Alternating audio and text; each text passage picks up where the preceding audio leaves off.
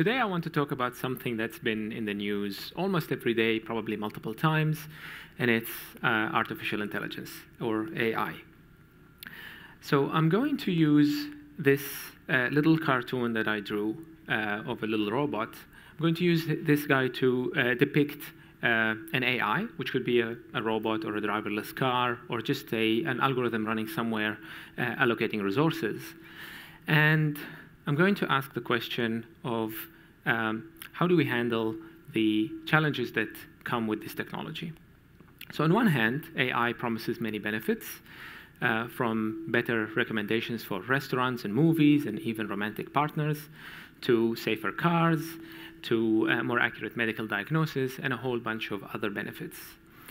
But AI also raises many challenges uh, that people are talking about uh, very frequently in the media, from uh, algorithms that filter news, putting us in filter bubbles, um, to unfair matching in markets, to uh, mass unemployment, of course, and a whole bunch of other challenges. So how do we balance the benefits and the risks? Now, one idea that is commonly discussed is that we always need a human in the loop of these systems. Um, so it would look something like this. You've got uh, an AI that is uh, performing a function. Let's say it's uh, flying a plane. Uh, you always need to put a human in the loop, like a captain in the cockpit, and this person would uh, ensure that the system behaves in accordance with our plans and desires, and also is able to intervene uh, in case something goes wrong. And maybe more importantly, we have somebody to blame if something goes wrong. Now, an interesting thing to notice about this picture is that everybody here has the same goal. So most passengers, I would hope, would require uh, uh, getting from A to B safely. Maybe there are exceptions. But uh, in many cases, our systems would uh, perform functions in which there are multiple goals, and these goals may be in conflict. So somebody may be interested in fairness, so another person cares more about efficiency, and yet another person cares more about safety. And these goals may not be simultaneously achievable for whatever reason. Now, so how do we agree on these goals first before we tell the machine what to do and have the, the human in the loop intervene? So this is uh, less like a human in the loop challenge and more like a society in the loop challenge, where by society in the loop here, I mean a human in the loop plus a social contract between the stakeholders who care about different things. Um, and the social contract is meant to provide the agreement in which, uh, into which people would opt in in order to cooperate to their collective benefit. It's a necessity. And this social contract is not really a new idea. It's been around for a while, uh, at least 350 years. Uh, next year, uh, this is the uh, book Leviathan by uh, political philosopher and economist Thomas Hobbes. And Thomas Hobbes's innovation was to identify this notion of legitimacy of the sovereign power that doesn't come from above, it doesn't come out of nothing, but it comes out of the mutual consent of those who are governed. So if you zoom in on this sovereign, this all-powerful sovereign looking over the land here, you see that it's made up of hundreds of little people who have opted into the social contract by giving up some of their individual rights and freedoms in order to maintain this uh, sovereign's power to enforce uh, property rights as well as other rights. And of course, if these people would opt out of this contract, this very powerful thing would immediately cease to exist. Now, Hobbes made this sovereign very powerful. He said that this sovereign should have almost all power short of taking people's lives. But then we spent many decades, actually centuries, taming this Leviathan. And we did this by introducing many checks and balances on its power, introducing fundamental rights that it cannot violate, and a whole bunch of other uh, political developments since then. And today, as we think about uh, uh, technology, it's important to realize that we've created and maintained and tamed the Leviathan through a social contract. So today, as we build a techno-Leviathan, a kind of cyborg sovereign that is made up of humans as well as algorithms making decisions that impact us, we also need a kind of social contract that is also algorithmic. And I want to talk a little bit about the nature of this thing. Now, uh, how do we, and how do we tame it?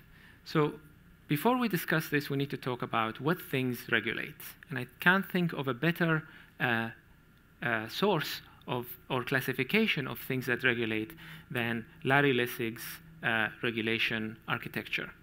So there is Larry in the middle. He's being regulated. And uh, he's regulated by four major forces. This is from his book, Code and Other Laws of Cyberspace, which was very influential in the 90s as the internet was starting.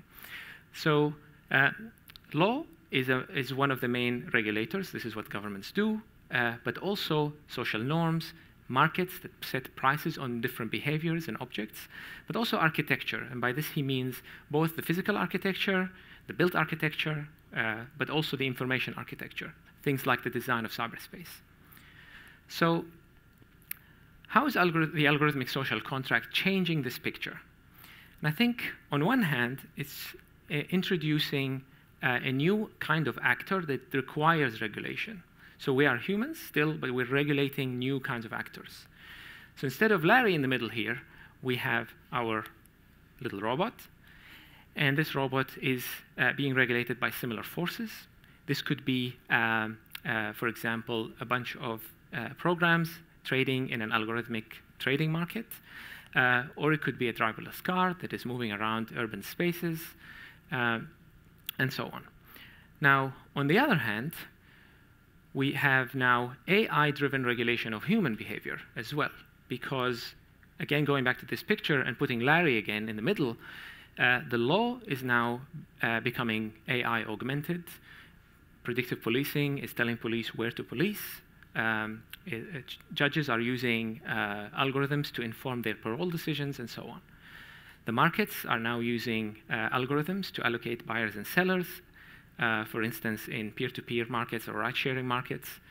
Um, the information architecture is being mediated by algorithms uh, as well, deciding what information we see out of the sea of, uh, of information out there. And even norms are being uh, altered by these algorithms. For instance, think of uh, dating websites and how they alter the kinds of relationships that humans form. So I think it's important to think, as, as we think about how this picture is changing, it's important to think about what has remained the same and what has changed. Because I think things that remain the same means, mean that we can still use some of our old tools uh, to regulate this new environment. So one of the things that remains the same is opacity. And consider, for example, teaching a machine uh, right from wrong, like what to do. Of course, you know, on one hand, we have difficulty articulating our goals to machines, but we've always had difficulty articulating goals to humans. We also had difficulty trusting other humans, uh, and now we have difficulty trusting other machines to comply with these goals and constraints. And of course, even well, even well-intentioned goals can sometimes uh, go out of control. You know, you could tell a robot to uh, minimize misery, and it kills all people because that's one way of achieving that goal. Now, um, so there is something wrong with this picture of requiring programmers to ensure that their machines are ethical before they let them into the wild. Uh, and I think it's because this goal is actually quite a tall order to ask of programmers. You don't ask people to open up other people's brains to check uh, if they're ethical by looking at their brain architecture. This is just unrealistic. Instead, what we do is we uh, observe people's behavior and then we hold it up, uh, we evaluate it against set standards of conduct. The second thing that hasn't really changed much is the presence of uns unsolvable dilemmas. So very common one that is uh, I've been partly responsible for popularizing is the uh, ethical dilemma that a, an autonomous car may face. So the story goes the car is uh, somehow lost control, is going to kill some pedestrians, but is able to swerve and kill maybe its own passengers uh, in order to save more pedestrians. Um, again, many people think that you know AI should solve this problem, but this problem is fundamentally unsolvable. That's that's exactly why it's called a dilemma. It's by definition unsolvable. And it's really a tall order to expect machines to solve a problem that defied the best legal minds and ethical, philosophical minds for thousands of years before we adopt the technology. But that is not to say that we can't solve these problems. We can't have a measured or a, a reasonable way forward. For instance, just think of these uh, moose bar dilemma, right? I'll call it, which is this uh, metallic bar that is placed in, the fr in front of the car. Um, if you remove these uh, bars, this moose bar, it's also called a kangaroo bar or a roo bar in Australia, depends on what kind of animal you might hit. Um, these things, removing them would reduce the risk of injury by 21% to pedestrians and the risk of death by 6%, um, which is why they are banned in many parts of Europe. They're banned in Australia, but they're not banned in the US. So there, we are constantly making trade-offs, you know, about the risks that we're willing to put up with, uh, relative risks in this case, that are defined by some kind of social contract. So we can continue to do the same with machines that are intelligent. A third thing that is the same is our own psychological bias. You know, we're, we're still human, we still reason about the world in particular ways. Um, so recently in our research, we're, we're preliminary research uh, that is um, uh, trying to overcome these kinds of dilemmas. So we've shown people uh, their lifetime odds of dying from being in a regular car versus an autonomous car as you know, according to the projections of the safety benefits of those cars. And people say, okay, that's good, I, I, I like that. But that does nothing to alleviate people's concern about being sacrificed by the car. Okay, and, and these concerns alone, despite of the absolute reduction in risk, may dissuade people from adopting the cars. And we've seen this before, right? Uh, the lifetime odds of dying from a car accident are astronomically higher than dying from a plane crash, yet many more people are afraid of flying uh, air travel uh, compared to getting in a car. And again, we need to educate people about reasoning about risk in order to overcome these kinds of psychological biases. So these are things that are uh, similar, that are not new. I think, so what's different? One thing that is different is the theory of mind. So in, um, in the current regulation, in the current social contract, we have, we are regulating entities that are humans. We have some sort of theory of mind of how they might behave, what they're interested in, and, and what they dislike and, and like. Um, and we do the same thing with those who govern. But with machines, uh, we have a new kind of agent that is slightly different. So uh, psychologist Kurt Gray and, and colleagues have done research on how we perceive other minds, including the minds of humans, the minds of uh, pets, and the minds of robots. And as you can see here, uh, uh, we perceive humans as being high on agency, the ability to make autonomous decisions, uh, as well as high on experience, the ability to experience pain, pleasure, and so on. But you can see here that the robots are uh, high on agency to some degree, and they're actually moving further along the x-axis here, but they're very low on experience. We don't know how to reason about these kinds of agents as we regulate them. For one, uh, we can't punish them because they don't care about pain. And I think this is a fundamental shift that we have to think about as we form this new social contract. A second thing that is different is adaptation beyond the initial intent in a completely unpredictable manner. So, for example, the US Securities and Exchange Commission defines market manipulation as an intentional conduct designed to deceive investors. But attributing intent to a synthesized strategy that includes machine learning that adapts the strategy over time is an extremely difficult thing to do, which makes it very difficult for us to point to the cause behind or the intent behind some behaviors. Um, a third thing that is different is speed.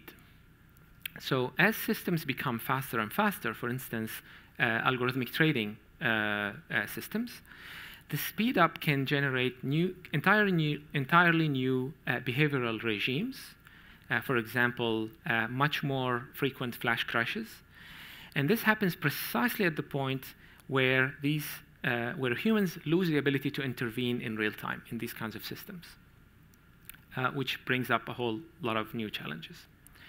So we could slow down the machines somehow. Uh, we could find ways to, to uh, uh keep them running at, at a speed that we can keep, keep up with. Uh, but obviously, this type of solution means that we have to slow down uh, our ability to benefit from those machines as well. Um, and if we were, if we took this to the extreme, applied this precautionary principle, uh, I would be sitting here, uh, and we would all be cavemen and women, and I'd be telling you about the catastrophic consequences of using fire, holding holding uh, civilization, obviously, from progressing forward. So one way of handling this uh, challenge of speed is to use other programs, to use programs to watch other programs. So obviously, uh, instead of uh, having uh, a human here in the loop watching the algorithm, the, the, the robot or the AI, we can have another AI watching it. This is what some people have referred to as oversight programs, which I think is going to be increasingly common. Of course, there are always limits to this because then who watches the algorithm, who's certifying the first algorithm?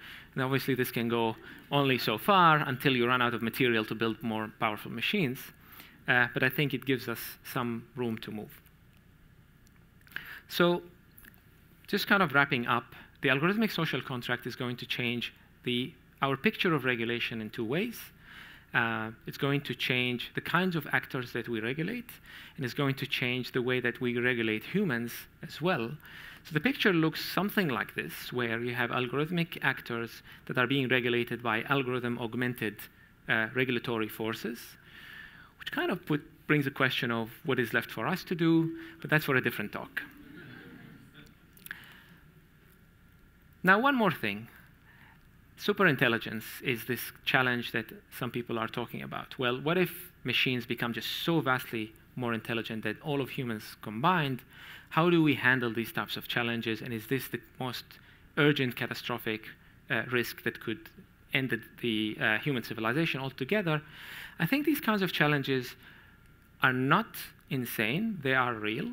Uh, but I think they're very hard to predict and prepare for. But I do think that by building technologies and institutions for creating an algorithmic social contract now, we're actually in a better position to be ready for, for the broader challenge, long, the longer term challenge.